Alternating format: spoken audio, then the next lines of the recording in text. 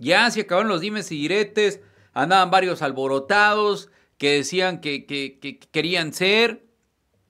Había otros que lo señalaban como los posibles este, candidatos. Por ejemplo, en el caso del actual comisionado de la, de la CONAPESCA, Octavio Almada Palafox decían todo el mundo que él iba a ser el bueno, que porque es de la gente más apegada al presidente de la República.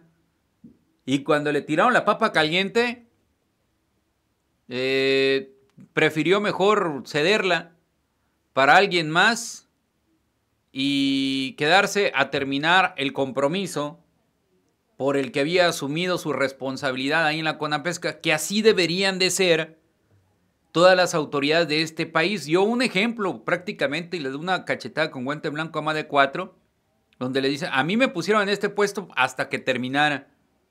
Yo no ando con calenturas políticas en el sentido de que eh, voy a dejar el puesto faltando ocho meses, faltando diez meses para ir por otro nuevo puesto. No, voy a terminar el compromiso. Entonces, de entrada, Octavio Almada dijo, yo ya no voy. Otro que salía muy bien en las encuestas es Omar del Valle, Colosio, que es el actual titular de la SIDUR.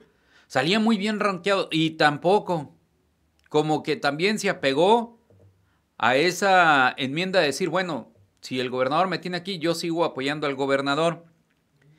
Eh, Ramón Flores, el junior, el dirigente del PT aquí en, Sonora, también quería el, huesito ese del Senado, tampoco le tocó a él. Shirley Vázquez, la maestra de Guatabampo, también quería el huesito y tampoco se lo dieron. Y aquí de Cajeme, ¿quién habrá querido el Senado de la República? Pues no, de aquí de Cajeme no. Por lo pronto, los que sí quedaron, amigos del auditorio, los que fueron seleccionados, ahí están apareciendo justamente en sus pantallas. El expresidente de Morena en Sonora resaltó que continuará con el camino de seguir luchando por el bienestar y el progreso precisamente del pueblo. Lorenia Valles, San Pedro y Heriberto Marcelo Aguilar Castillo realizan su presentación pública como precandidatos únicos a la fórmula del Senado de la República por la coalición Sigamos Haciendo Historia, conformada por los partidos de Morena, Verde Ecologista de México y Partido del Trabajo. ¿Contra quién van ellos? ¿Contra quién es la pelea, amigos del auditorio, así en las urnas? Van contra Beltrones y Lili Telles. Muchos dicen que el dueño del Estado políticamente hablando es Malio Fabio Beltrones Rivera. Y Lili Telles pues es conocido por gran parte de la población, mucho tiempo trabajó como periodista, después llega al Senado como senadora de Morena, se enoja con el presidente de la República y con el partido y después se cambia y, deja precisamente a Morena. Y ya está el tiro. Lorenia Valles, San Pedro y Heriberto Marcelo Aguilar, dos nombres que para usted, por ejemplo, en Guatabampo, en el Chojoa, pues ni siquiera los conocen.